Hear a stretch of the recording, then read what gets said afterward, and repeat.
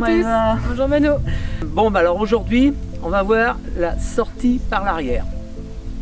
Souvent, on utilise de la main gauche le 8, c'est-à-dire la partie en cuir qui rejoint le pommeau au trousquin, et la main droite, le pommeau.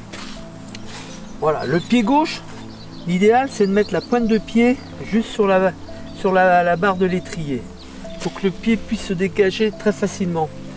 Donc là, on prend appui carrément sur le 8 avec le, le poing et la main sur le pommeau.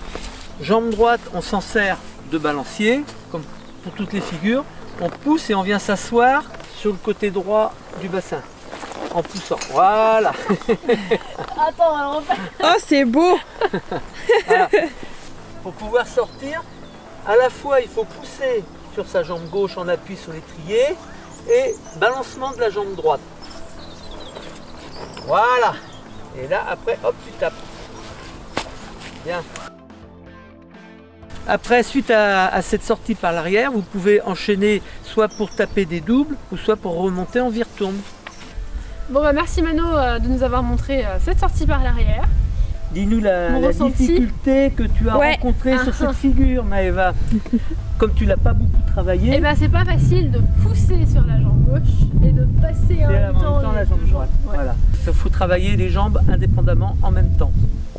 Merci à tous d'avoir regardé cette vidéo et surtout à bientôt sur Créa Voltige. Et encore merci à vous tous de nous suivre.